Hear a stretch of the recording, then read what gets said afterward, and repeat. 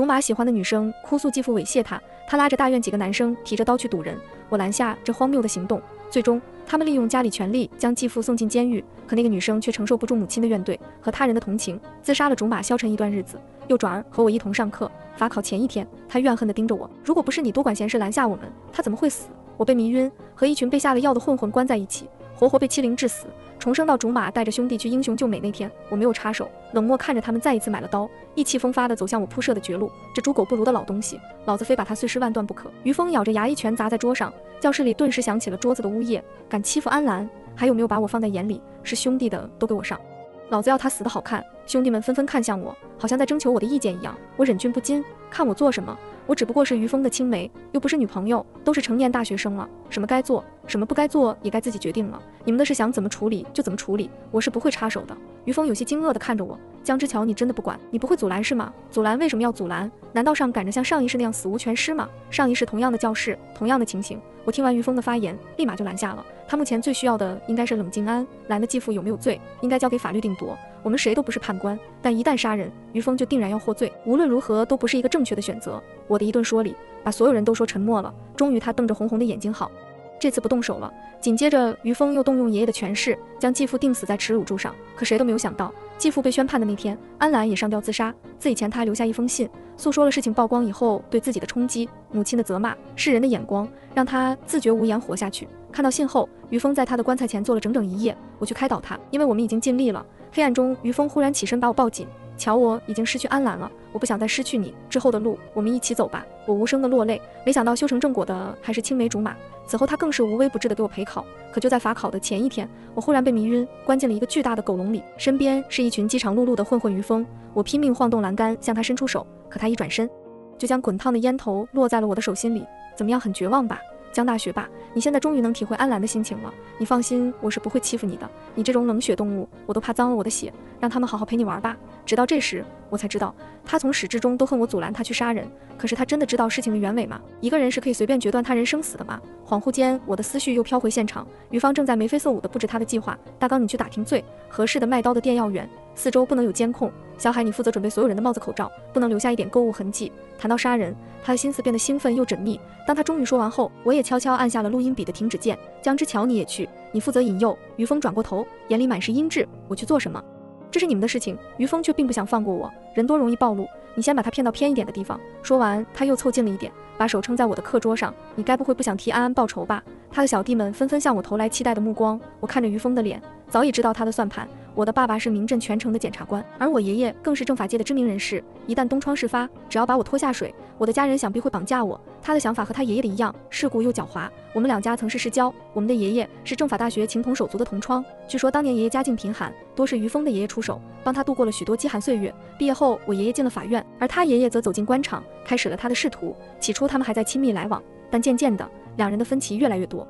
终于，当爷爷看见老同学带着金条出现在家里时，怒火遏制不住了。于敏中，这就是你的良心吗？你怎么敢拿这种东西来收买我？老姜啊，别这么古板。他摇了摇手，这钱可以是收买，也可以说是抚恤。你要执意给张公子治罪，那他一定会申诉第二次、第三次，直到把原告弄得倾家荡产。见我爷爷不说话，他又补了一句。你想一个寡妇带着孩子能打得起几次官司？但是有了抚恤金，他们可以过上多少年好日子？有时候真相才是会吃人的。老同学变通变通吧，那是我们祖辈的第一次大吵，是我爸爸告诉我的。那时他只有六岁，那次爷爷仍然坚持张公子有罪，而后又定期给被害人的一双一笔救助金。爷爷说，无论什么理由都不能掩埋真相。可于峰的爷爷则认为，真相是可以给书写的。显然于峰也这么想。抱歉，你错了，我是不可能参与的。我忍住恶心，把装有录音笔的笔袋放进包里，起身就走。无论如何，我都不会背弃家族的训导，绕开法律形式，因为一旦开了头，就有无数种见不得光的交易被打着正义的名号进行。哪怕安澜的继父真像他说的那样十恶不赦，也不行。当我走到教室门口的时候，于峰喊住了我：“江之乔，你真的以为我不知道你在想什么吗？我知道你就是在嫉妒安澜吃醋而已。你不就是气我不喜欢你吗？”他双手插兜，颇为嘲弄地走到我身后，对自己的魅力信心满满。而他的小弟们也适时地起哄起来，想让我难堪。我被气笑了，气他更气，那是圣母般的自己。年少时，于峰的家世还不为人所知，常常被男生们拳打脚踢。我看他可怜，便常以班长的身份出面劝架。久而久之，大家都传我喜欢于峰，舍不得他被打。没想到于峰自己也信了这一套，后来挨打，他还跟人说江之乔是我老婆。你们谁敢动我？这套说辞一直持续到他家世曝光，成为老大后才不再提起。我冷笑挑了挑眉，你别忘了，我可从来没说过我喜欢你。倒是有人为了自保，逢人就喊自己是我老公，也不知道在怂什么。多年的横行霸道把他惯的，都不知道以前是谁求谁了。于峰的脸顿时青一阵白一阵。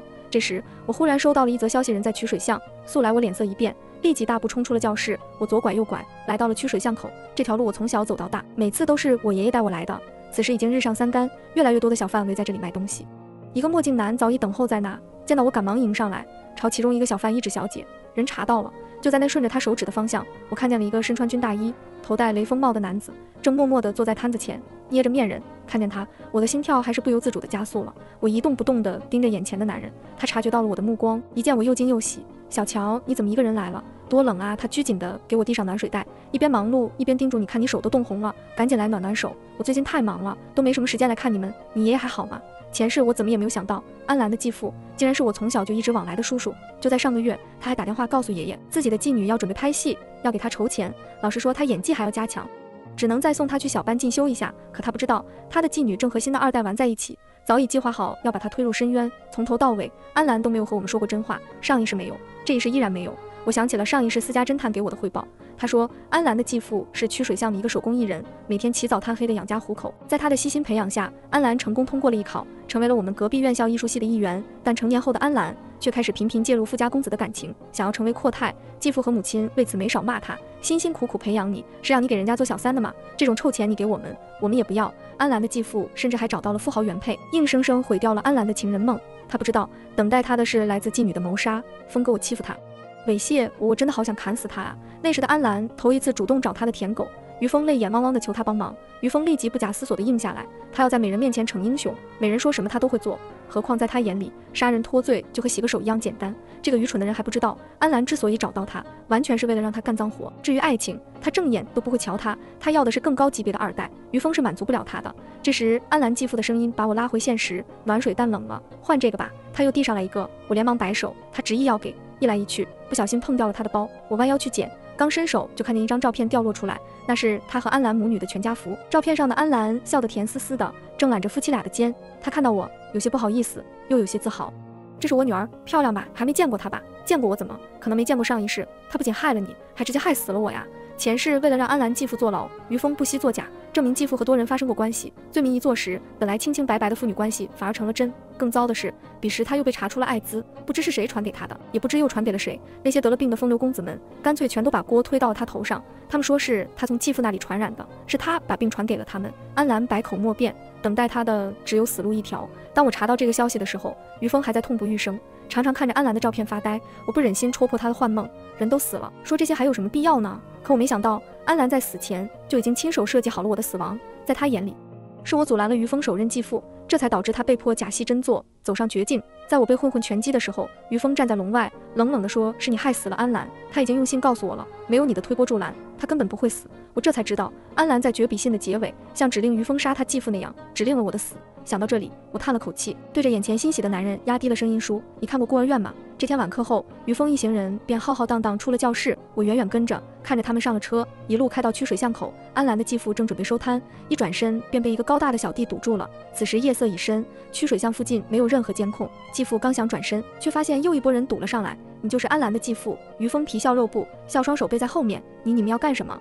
继父警惕着。一边悄悄用手伸向口袋，没想到于峰一下就看到了他的小动作。他反手一擒继父，还死死地握着手机。于峰把他拱到墙壁前，将他的手肘狠狠地在墙上撞击了几下，顿时手机掉了下来。又还懂得录音，可以啊！他狞笑着。当即删掉了那段记录，把手机狠狠地踩了几脚。我的心顿时提到嗓子眼，录音可是关键性证据，一旦证据链少了这一环，到时候一定会被动很多。可我已经来不及感叹了。于峰等人一拥而上，围着他拳打脚踢，手里的刀还在闪闪发光。当第一个人扬起刀时，我安排好的路人纷纷出了。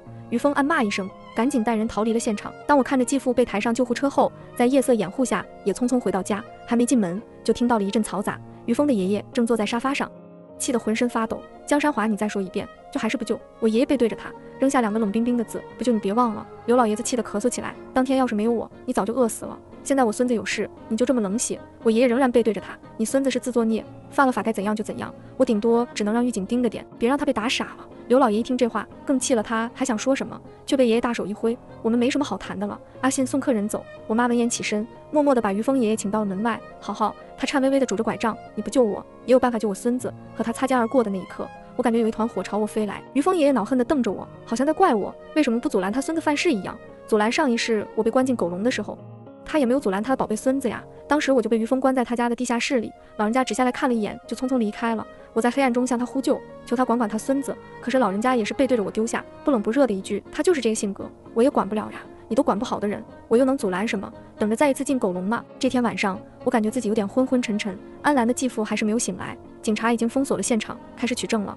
我打开手机，搜索着相关的新闻，和于峰相关的一点都没看到。看来于家还是动了血本了，连媒体关系都封得死死的。直到第三天，我才看到一条新闻：手工艺人遭人袭击，嫌疑人已落网，也因醉酒冲动伤人。点进一看，几个混混模样的人正低着头，没一个是于峰团体的人。老爷子果然是找到替罪羊了呀！我知道这场正邪较量才刚刚开始，安兰的继父还没有醒来，安兰母女俩泪眼汪汪地守在床前。可是，一转头，安兰便恨恨地骂成事不足败事有余的东西，他要的是永绝后患。没想到于峰只是出了手就走人了，于峰对此浑然不知，他还在课间偷偷和我炫耀，看见没？我要是弄死一个人，比才死一只蚂蚁还容易。我假装没有听见，可录音键却按了一次又一次。一周过去，当安兰的继父终于醒来时，第一件事就是找警察，是于峰，是于峰带人砍我的，他还说要杀死我。他越说越气，可是众人都面面相觑。混混已经招供了，沾有血迹和指纹的同款刀，血衣血鞋，一切都是那么天衣无缝。他还想再说，却被医生劝住了。先生，就算您说的是真的，可于家是什么人？咱们怎么斗得过人家？可他不听，不仅不听，还将这一切发到了网上。舆论不能用来判案，但可以用来申冤。当他满身伤痕。举着身份证出现在视频软件上时，网络沸腾了。于峰可是于家公子啊，他怎么会干出这种事呢？评论区议论纷纷，还有好心人提醒他快删视频，当心一家暴富。那家人报复心很重，杀人不眨眼，可要当心啊！但随着视频越传越广，云峰的黑料也开始越发越多。有人说于峰曾经霸凌过他，就因为于峰喜欢的女生喜欢他；有人说于峰曾经逼自己吃沙子，之后又拿小弟去顶包。于峰亲眼看着这一切，却不以为意。说尽管说，我看谁能奈我何。这句话是他在班会课上跟兄弟们说的。我在一旁听着，心里暗暗发笑。一下课，我便直奔另一家酒吧。全市的十家酒吧里，我已经去了八家，是否可以翻案？关键就在接下来的两家。酒保看见我，以为我是来喝酒的，却不料我直接开门见山，打扰了。我需要看一下贵店十一月二十日晚上的录像。此前通过对混混身边人的询问，我已经掌握了他们的行踪。我得知为首的那个人一身酒气的回来，还说自己去了酒吧。就这样，我摸排了所有酒吧的监控，目的就是给他提供不在场证明，逼迫警察重新寻找嫌犯。在我摸排的过程中，安兰的继父也在源源不断的发送视频，于峰的嫌疑也在口口相传中越来越大。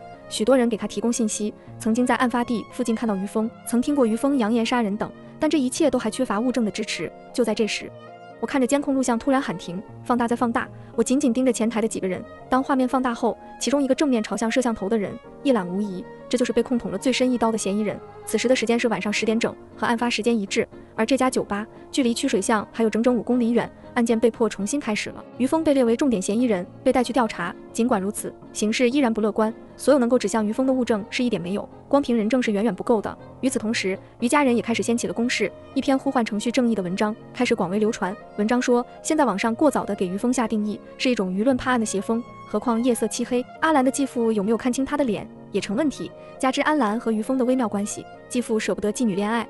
故意污蔑于峰也有可能，话里话外都在说于峰没有伤人的动机。直到这时，安兰继父的第二颗炸弹才投了下来。文章发布的第二天，新的视频出现，视频中的继父带着一身伤，标题就是博于峰没有动机。这个视频尺度大到史无前例，安兰教唆于峰杀人，于峰给狐朋狗友制定杀人计划的录音全部一览无遗。视频开头还附上了继父和安兰的聊天记录。你要是再敢毁我感情，我就找人弄死你。记录中，安兰恶狠狠地发了一条语音，紧随其后的便是安兰求助于峰的对话和于峰下达任务的发言。视频最后是安兰在病房里的吐槽，成事不足败事有余的东西。视频一出，全网一片哗然。安兰和于峰遭遇了前所未有的痛骂，形势突变。先坐不住的是安兰，她发疯地在病房外大喊大叫，质问继父为什么要这样害她，还说他只是说说而已，说说而已。我哑然失笑，究竟是真心希望，还是嘴上说说？他安兰最清楚。紧接着，安兰就被带走了。他的教唆杀人是否成立，我不得而知。不过对我来说，对安兰的报复到这里就足够了。是我亲自奉上了一段段超清晰的录音，有了这些录音，安兰跻身富豪圈的梦想就彻底破灭了。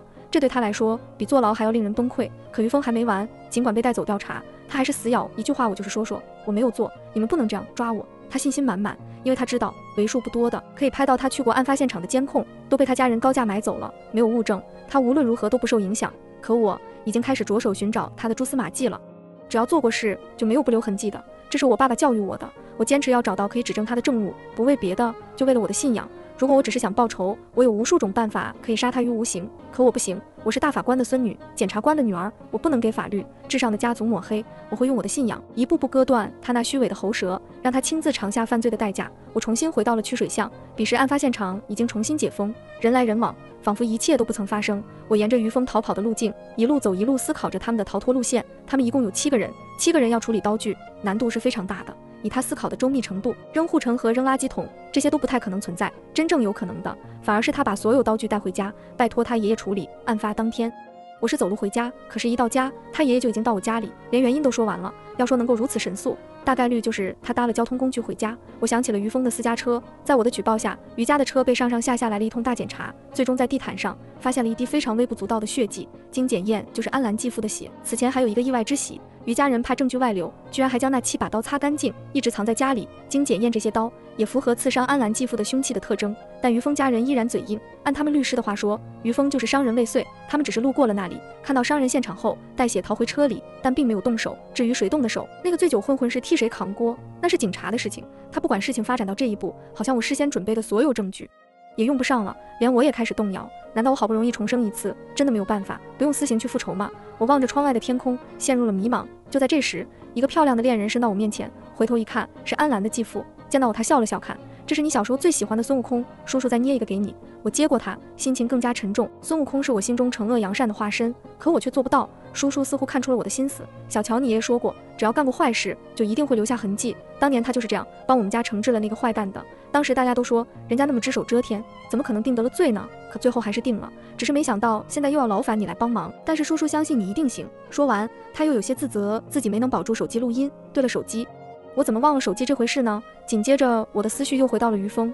派发任务当天的话，小海，你负责准备所有人的帽子、口罩，不能留下一点购物痕迹。有意思，希望来了。在一审法庭上，于峰和律师一口咬定自己从未接近受害人。可是当法政部的专家出来作证时，他傻眼了。从安澜继父伤口上提取到的纤维和从于峰家中查获的帽子的材质一模一样，而这些毛线帽的材质国内是没有的，来源是在海外。这还要归功于于峰的警惕。由于小海非常听话，为了不留痕迹，他特意避开网购平台，托远在国外的好友做了一些帽子。更巧的是，做帽子的老人十年来只做了这几顶，因为人家本身就没想卖。这一来，嫌犯基本就锁死在于峰一城七人的范围内了。于峰机关算尽，本想用帽子遮掩自己，却没想到这个帽子成了关键证据。此外，在安澜继父破碎的手机上，也提取到了一些手套的纤维。警方查到了这款手套的卖家，又一次在购买人的监控中查到了于峰的身影。加上其余六个共犯已经精疲力尽，全部认了罪，交代了更多细节。人证和物证一家，于峰的故意伤害罪终于板上钉钉。一审过后，于峰的家人还不死心，又一次出现在了我家里。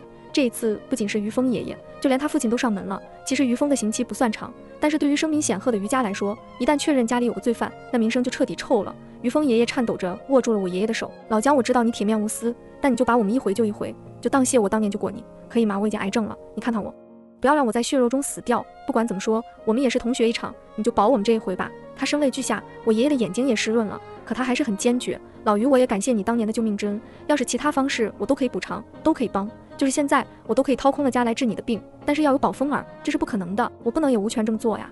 如果我保了，在屈辱中死的就是我了，还有咱们的老师，我的儿子孙女，所有人都无颜见人啊！当云峰爷爷拄着拐杖消失在夕阳中时，我隐隐有一丝感伤，这可能是这对老同学最后一次见面了。谁不想在圆满中离世呢？在晚年遇到这等不孝子，谁都难以瞑目吧？可这也是他惯出来的。当年他当着于峰爸爸的面来命令我爷爷放过张公子，现在于峰爸爸也无数次在于峰面前言传身教，权势的强大，从小到大。于峰就知道有权就可以拿捏一个人，有势就可以脱罪。他们家族始终相信这一点。在进入政法大学的时候，老师问我们为什么要进来，我说是为了做检察官。可于峰一笑而过，我要当官，只要名牌大学的毕业证拿到，他的官场前途一定不会差。就在我感慨的时候，网上突然有声音出现了。这一次是于峰写给记者的，说要揭发你们。一直以为我们中只有七个人，但是其实是八个。从始至终，江之桥都知情，他还跟着参与了，只是最后没去现场而已。这是于家背水一战之际，于老爷子求情没有用，那也只能拿我来做人质了。我冷冷一笑，这一招从于峰想拉我去现场的时候，我就预料到了。在于峰的二审法庭上，我也被叫了上去。虽然我是证人，但此时我的身份就像是被询问的犯人一样。于家的律师对我咄咄逼人，想坐实我从犯的身份之后，再来证明我提供的证据有栽赃作假的可能性。即便不行，也可以逼我爷爷出手相救。面对他的问题，我微微一笑，我承认我从头至尾都知道这个计划，但我不是共犯，不是帮凶，更得有辅助一点。面对着全国直播的镜头，我不慌不乱地说出了整个时间线。在安澜当着我们的面找于峰求助时，我就开始了第一次录音，随时准备提供证据。随后于峰正式通知我和弟兄们要执行刺杀计划，我又一次录音，并当场拒绝加入。这一点我的录音笔也可以证明。至于于峰律师质问的，既然我也在现场，为什么不去阻拦他们？我也自由应对。对于一个手无寸铁的女孩来说，面对七把明晃晃的刀，七个怒火中烧的男人，我的第一反应肯定不可能是冲上去，我只能报警，是吗？他一笑起来，你如果真的想救人，那么早就应该报警吧？为什么一直纵容事情发生在报警？就算不报警，你也应该阻拦他一下吧？为什么全程都没有拦？这个问题简直太简单了。连刚开始，于峰都一口咬定自己只是随便说说，并没有实际行动。那么我在事情开始前就报警，有谁能够相信我？又能阻拦谁？我能做的只有委托侦探查找安澜继父本人，及早提醒继父做好准备，以及找人时刻保护继父。这一切都有充分的证据支持，这也是我能做到的极限了。至于为什么不拦我，当然不能说因为我阻拦他而死过一次。我只是淡淡的说道。我和于峰从小一起长大，他的性格我很清楚。小时候他因为保姆阿姨阻拦他逃学，他可以直接当面打人家两耳光。中学的时候，他妈妈曾经阻拦他不要打游戏，他直接给了他下巴一拳。这个你们完全可以查到，连他那么亲近的人，他都可以这样。而我只是一个外人，我去阻拦他最爱的女人，他会怎么对我？我不敢想象。我的回击清晰有力，最后也毫无疑问地获得了所有人的信任。庭审结束了，二审宣判还是维持一审判决，于峰有罪判决结束后不久，于峰爷爷就去世了。于峰关在狱中，无法前去送他，但是爷爷也不想看见他了吧？我想值得一提的是，二审席上，于峰还和证人安澜互相咒骂起来。于峰骂他是害人精，当他得知自己只是个工具人，连个备胎都不是的时候，安澜也没有好气，骂他是废物、舔狗、拖油瓶，自己没有看走眼，他没有被判刑。因为他的确只是说了自己想杀人，但完全没有说任何要求于峰动手的话，这还算不上教唆。但他的豪门梦已经破灭了，不只是因为他有教唆嫌疑的污点，还因为他一言不合就污蔑，这臭名传的到处都是，没有哪个公子还敢跟他来往。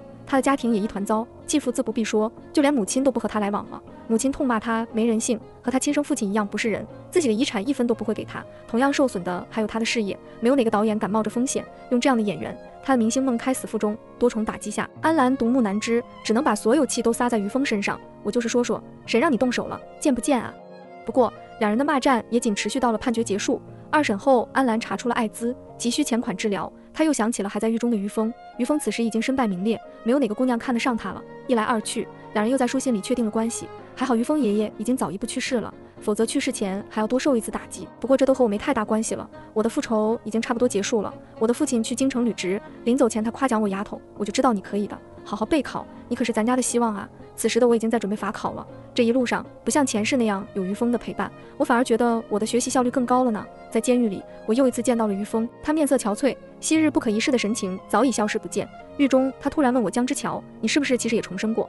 我有些惊讶，我本以为重生的只有我一个人。于峰哈哈大笑，没想到啊，还是逃不脱你的手掌。上一世我把你弄死在狗笼里，然后我装成目击者来救你，结果你爸查到了真相，把我关进牢里，还指使其他犯人活活打死我。你们江家人真的是心狠手辣。我打断了他，我爸只可能查到真相，但是即使别人打死你，他绝对不会做的，这是我们家族的底线。我相信他。紧接着，在他难以置信的目光中，我冷冷地说道：“我们家族没有这种私刑处置的习惯。其实我重生复仇，完全有一万种办法可以成功。我可以把你关进笼子，让狗咬死你，但我还是选了这个最麻烦又希望最小的去告你，因为我就想让你知道，用法律我一样可以让你付出代价，没有人可以逃脱刑法，你也是隔着玻璃窗。”于峰的表情变得非常复杂，我不知道他是怎么想的，或许他还是觉得我很傻吧。不久后，我顺利通过了法考。再后来，我成为了一名向往已久的检察官。在庆功宴上，安澜的继父热情地祝贺我，给我送上了一个小面人。于峰的案子过后，我们两家的来往比过去更密切了。我看着手里的孙悟空，他活灵活现，和第一次见到他时送给我的一模一样。从小到大，每一次我沮丧的时候，他都会送上各种小面人，鼓励我坚持下去。不知不觉，我和叔叔都认识二十多年了呢。于峰坐牢后，他爸爸还短暂来过我家一次。他不明白为什么安澜的继父会那么相信我，和我打着各种配合。我闻言暗笑，那还是拜你们所赐呀。在叔叔才六岁的时候，他的爸爸就被张公子打死了。当时江山华法官坚持要判罪，但是云岭中书记前来阻止他，说别判罪，对大家都好，对一双母子也好。可江法官不信这个，他一手帮扶母子俩度过了最艰难的岁月，还送那个小男孩去学了他喜欢的捏面人，成为了一名非一手工艺人。后来他成家立业，离婚搬家，又再婚，直到那时我们才短暂的失去了联系，但是我们的情谊一直都在，所以他会如此的信任我，可以找出真相，像爷爷一样把人送到该去的地方。只是这种感情对于家人而言是不懂的。他们只是相信没有永远的朋友，只有永远的利益。不管怎么说，我的征途都要开始了，走上父辈的道路。我终于实现自己的梦想了。全文完，感谢观看。